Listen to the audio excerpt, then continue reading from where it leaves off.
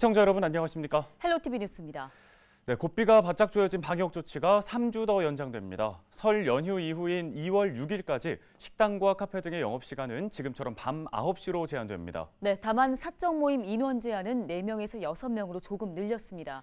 정부는 다음 주쯤에 우리나라에서도 오미크론 변이가 우세종이 될 것이라고 전망하고 있습니다. 네, 한때 하루 확진자 수가 50명까지 떨어졌던 일본도 올해 들어서 기하급수적으로 확진자가 늘어나면서 최근엔 하루에 2만 명에 육박할 정도로 증가했습니다. 네, 오미크론의 무서운 확산을 막기 위해서 이번 설 연휴에도 고향 방문이나 가족 친지와의 만남은 자제해달라는 게 정부의 요청입니다. 헬로티비 뉴스 시작하겠습니다.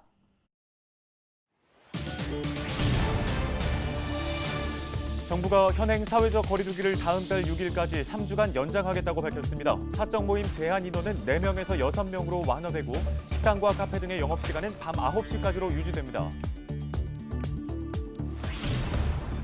코로나19 확산을 막기 위해 정부가 방역 패스 도입을 확대하고 있는 가운데 관련 논란이 사그라들지 않고 있습니다. 시민들의 목소리를 여론은 지금에서 들어봤습니다. 예산군이 오는 17일부터 소상공인들에게 긴급 방역 물품 지원금을 지급합니다. 방역 패스 적용 업체에는 정부 지원금에 더해 최대 20만 원이, 제외 업체에는 10만 원이 지급됩니다. 청양군이 인구 늘리기 사업의 하나로 오는 4월부터 청년 수당을 지급합니다. 지원 대상은 만 25세와 만 35세 청년이며 지원액은 한 사람당 연간 60만 원입니다.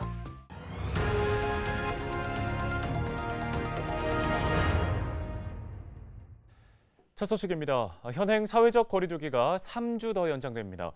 정부는 14일 코로나19 확산을 막기 위해 설 연휴가 끝나는 다음 달 6일까지 거리두기를 연장한다고 밝혔습니다. 다만 오랜 기간 지속된 방역 강화로 인한 고통을 감안해 사적 모임 제한 인원은 4명에서 6명으로 완화한다고 밝혔는데요. 식당과 카페 등의 영업시간은 기존대로 밤 9시까지 유지됩니다. 아울러 정부는 최근 확산 속도가 빨라진 오미크론 변이에 대응해 방역 체계도 개편하겠다고 덧붙였습니다. 정부는 이번 설 연휴에도 고향 방문이나 가족 모임 등을 자제해달라고 당부했습니다.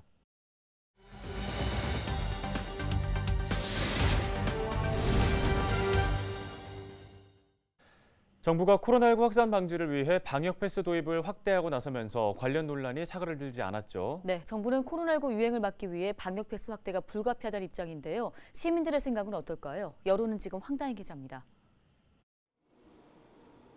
지난해 말부터 본격적으로 시작된 방역 패스. 코로나19 백신 접종을 완료했거나 코로나19 음성을 확인했다는 일종의 증명서로 사전 확인을 받아야 주요 시설에 출입이 가능하도록 했습니다. 이달 초부터는 3,000제곱미터 이상인 상점과 마트, 백화점도 방역 패스 적용 시설에 포함됐습니다. 정부는 방역 패스 강화 지침에 따라 확진자가 줄었다는 입장. 일부 시민들도 코로나 확산 방지를 위해서는 방역 패스 확대가 필요하다는 입장입니다. 아무래도 이게 정식이 되기 전까지는 그래도 우리가 계속 조심을 해야 되지 않을까라는 생각을 갖고 있습니다. 경각심이 생기고 말하자면 아, 안 맞는 사람들이 백신 안, 저, 주사 안 맞는 사람들이 아 나도 맞고 자유롭게 다녀야 되겠다 이런 생각이 들겠죠 아무래도 예, 저 저부터서 아무래도 이제 그런 그 설치들이 되어 있는 곳이 좀 안전하기도 하고 그런 생각이 들어요. 그렇게 해야 좀 이 상황이 좀 빨리 끝나지 않을까 싶기도 하고 일부는 고통받을 수 있겠지만 그런 게 좀 해야지 좀 결과적으로는 더 좋은 방향으로 가지 않을까 생각하고 있습니다.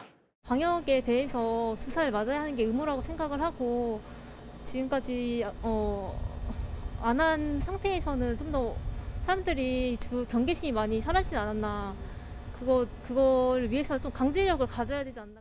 하지만 방역 패스가 없는 미접종자는 백화점과 대형마트 이용이 사실상 불가능해진 상황. 온라인 장보기 등이 어려운 어르신 등 일부 소외계층은 생필품 구매와 같은 기초적인 경제 생활에도 어려움이 예상됩니다. 제 주변에 건강상으로 아예 못 맞는 분들도 계세요. 근데 이게 마트나 이런 데로 확대되니까 되게 불편해 하시더라고요. 뭐 요즘에는 온라인으로 주문을 한다고는 하지만 그런 것도 참 힘든 분들도 분명히 있을 텐데 이게 사회적인 약자들이 분명히 생기기 마련이라고 생각해요. 그냥 자율적으로 좀 맡겨줬으면 좋겠어요. 우리 국민들을 믿고 좀 맡겨줬으면 좋겠어요. 그만큼 의식이 많이 높아진 것 같고 저희도 지금 가면 이제 습관적으로 다 기본적으로 하시는데 이제 방역 패스 도입이 기저 질환자 등 미접종자들에게 또 다른 차별이 될 수 있다는 목소리도 큽니다.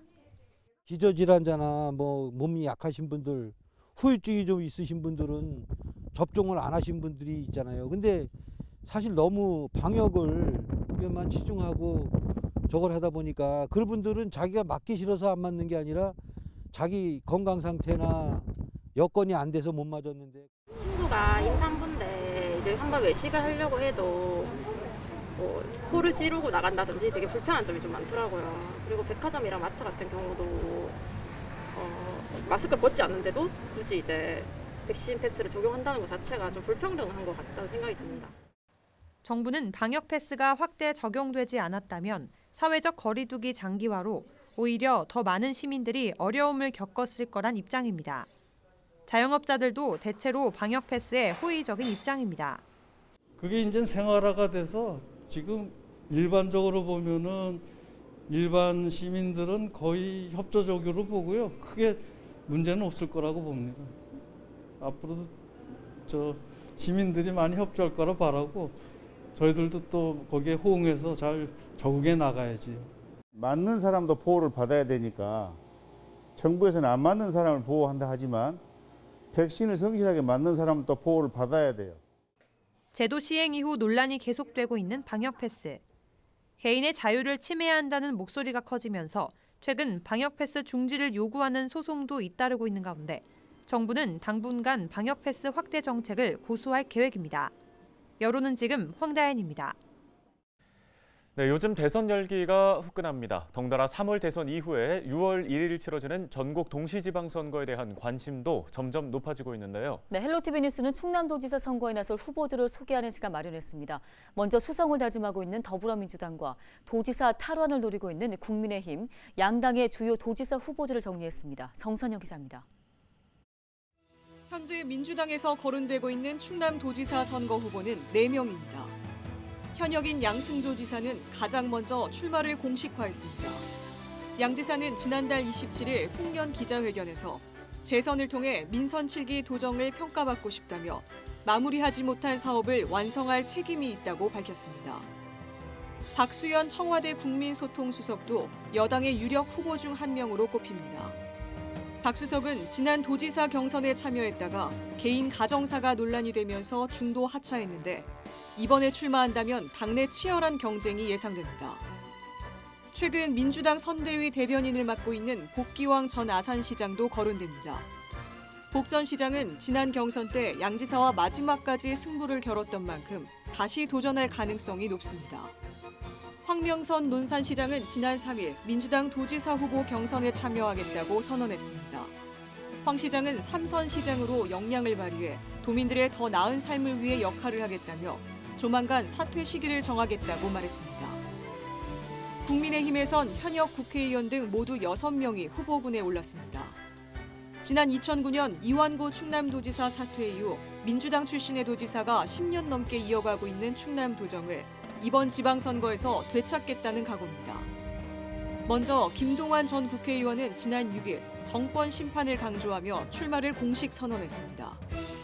보령 서천 지역구 삼선 중진인 김태흠 의원도 야당 후보 물망에 오르고 있으며 원외에선 박찬주 전 육군대장이 조만간 출마 여부를 정할 것으로 보입니다.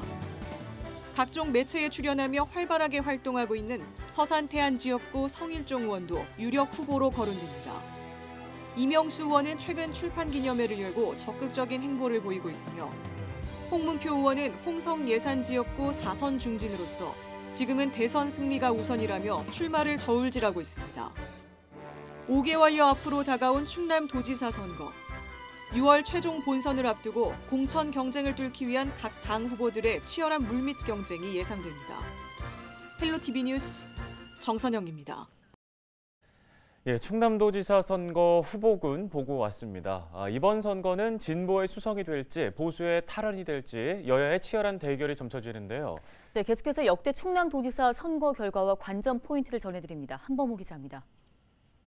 역대 충남도지사 선거를 보면 보수 진영이 4차례, 진보 진영이 3차례 승리했습니다. 최근 흐름은 진보가 우세합니다. 민선 1기부터 4기까지 보수가 내리 이겼지만 5기부터 7기까진 진보가 앞섰습니다. 민주당은 상승세를 이어가 안희정 지사 이후 4차례 연속 충남도정을 이끌겠다는 각오. 반면 국민의힘은 이완구 지사 이후 되찾지 못한 지사직을 12년 만에 탈환하겠다는 의지입니다. 그렇다면 판세를 가를 변수는 뭘까? 충남은 상대적으로 도심 지역은 진보 성향, 농촌 지역은 보수 성향이 강합니다. 이런 가운데 천안과 아산, 당진, 서산 등 서북부 지역은 기업 유치로 젊은 층이 꾸준히 유입되고 있는 상황. 충남 전체 인구의 절반에 달하는 만큼 여야 모두 이곳 표심 공략에 총력을 다할 것으로 보입니다. 선거란 건 아무래도 수적 이 싸움이기 때문에 그쪽에서 이제 누가 이렇게 저 패권을 쥐느냐 거기에 따라서 어, 선거판은 뭐 결정되지 않을까 그렇게 생각이 됩니다. 민주당은 강력한 집권 여당을 국민의힘은 정권 심판론을 강조하고 나선 가운데 대통령 선거 결과도 주목됩니다. 지난 1992년 이후 대선을 보면 모두 충남의 선택을 받은 후보가 최종 당선됐습니다. 그런데 이번 지방선거가 치러지는 시점은 대선 이후 불과 80여일 뒤. 결국 누가 대통령이 되느냐에 따라 지방선거 표심이 따라갈 가능성이 높다는 분석입니다. 공공기관 이전 등 굵직한 지역 현안을 풀어가기 위해서 중앙정부와 발을 맞춰야 한다는 점도 이를 뒷받침합니다. 도정이라는 것이 국정의 어떤 에, 도움과 협력 속에서 이루어지는 것이기 때문에 아무래도 에, 대선에서 이제 어느 쪽에서 승리하느냐 이런 것이 에, 많은 영향을 미칠 거라고 봅니다. 오는 4월부터 치열한 경선 레이스를 예고한 가운데 6월 1일 도민의 최종 선택에 관심이 모아집니다. 헬로티비 뉴스 한보호입니다. 예산군이 코로나19로 어려움을 겪고 있는 소상공인들에게 긴급 방역 물품 지원금 10만 원을 오는 17일부터 지급합니다. 식당과 카페 등 방역 패스 적용 업체에는 정부 지원금과 군 추가 지원금을 더해 최대 20만 원을, 방역 패스 제외 업체에는 군 자체 지원금 최대 10만 원을 지급합니다. 지원 대상자는 증빙 서류를 갖춰 사업장 관할 행정복지센터에 다음 달 25일까지 신청하면 됩니다. 청량군이 4월부터 기초단체 최초로 청년 수당을 지원합니다. 청량군은 4월 20일부터 만 25세와 만 35세 청년에게 1인당 60만 원씩 지급한다고 밝혔습니다. 청년 수당은 4월과 10월 두 차례에 걸쳐 30만 원씩 모바일 지역 상품권으로 지급됩니다. 신청 기간은 3월 2일부터 25일까지이며 신청은 읍면사무소에서 가능합니다. 이와 함께 청량군은 올해 청년 정책에 111억 원을 투자할 계획입니다. 청양군의 청소년 정책에 청소년들이 직접 참여할 수 있게 됩니다. 청양군 청소년재단은 13일 충남 최초로 청소년 이사제를 도입한다고 밝혔습니다. 청소년 이사제는 재단 의결기구인 이사회에 청소년을 선임해 다른 이사들과 동등한 자격을 부여하는 제도인데요. 청소년재단은 국내 청소년 한 명을 공개 모집할 계획이며 선정된 이사는 재단의 운영계획 수립과 예산, 임원 선임과 해임 같은 의사결정에 참여하게 됩니다.